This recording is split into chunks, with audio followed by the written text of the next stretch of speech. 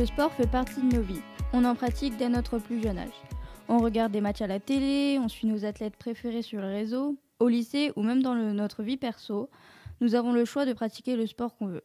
Enfin, nous pensons que nous l'avons.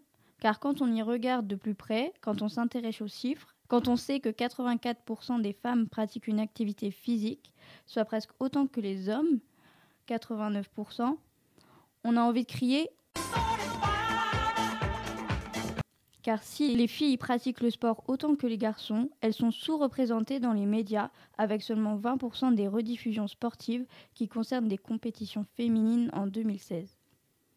Quant au salaire, n'en parlons pas. Un footballeur professionnel en Ligue 1 gagne en moyenne 50 000 euros brut par mois. Une footballeuse au même niveau, 3 000 euros. Alors, choisit-on vraiment le sport qu'on pratique en toute liberté? 94% des licenciés de la Fédération française de foot sont des hommes. A l'inverse, la Fédération française de danse compte 86% de filles. Comment se fait-il que ces sports soient aussi genrés? Représentation dans les médias, pression sociale ou familiale, stéréotypes qui ont la vie dure, sûrement un peu de tout ça à la fois. Pour mieux comprendre ce phénomène et montrer que d'autres chemins sont possibles, nous sommes allés à la rencontre de Chris et Clara qui, chacun à leur manière, se battent pour déconstruire les stéréotypes de genre liés au sport. Bonjour Chris, bonjour Clara. Commençons par les présentations. Bonjour, je m'appelle Chris, je suis en 6e C et je pratique la danse. Bonjour, je m'appelle Clara, j'ai 15 ans, je suis en seconde et je fais du foot. Clara, quelle est ta réaction en entendant les chiffres qu'on t'a donnés sur le salaire des footballeurs et des footballeuses?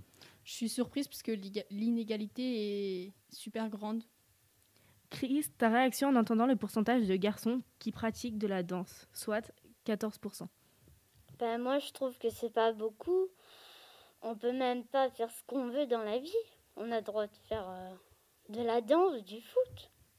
Est-ce que l'on vous a influencé ou découragé à faire votre sport? Moi on m'a déjà dit t'as pas le droit de faire la danse, c'est pour les filles.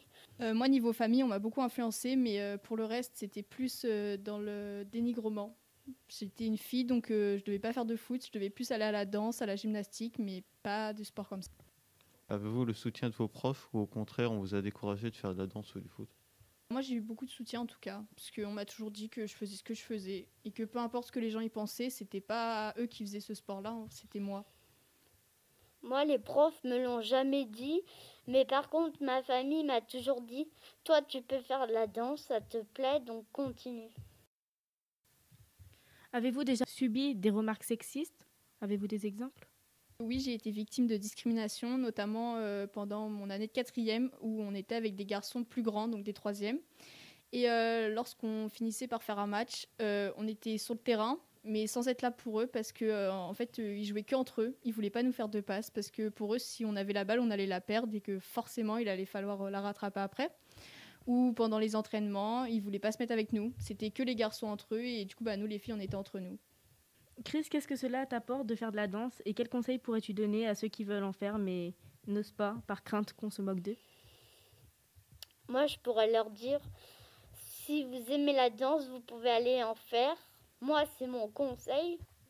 Qu'est-ce que ça t'apporte à toi de faire de la Moi, moi, danse? ça me fait plaisir. Moi, j'ai envie de continuer.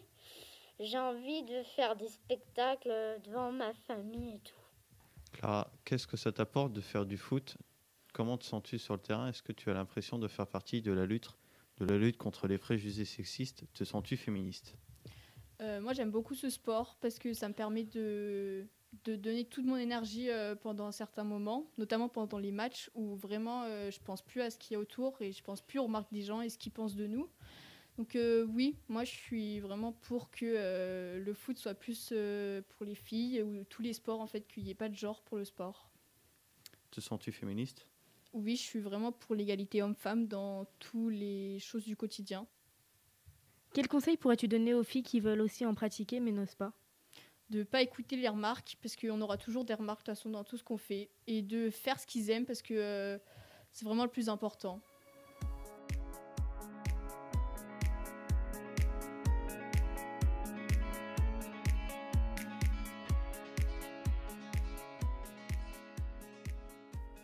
Pour cette interview, nous remercions Clara Mahé et Chris Peno, élèves à la cité scolaire Persaigne à Mamers.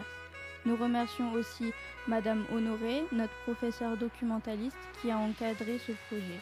Nos sources sont l'étude Cantas TNS de janvier 2018, l'enquête de l'équipe en 2019, les décodeurs Le Monde février 2020.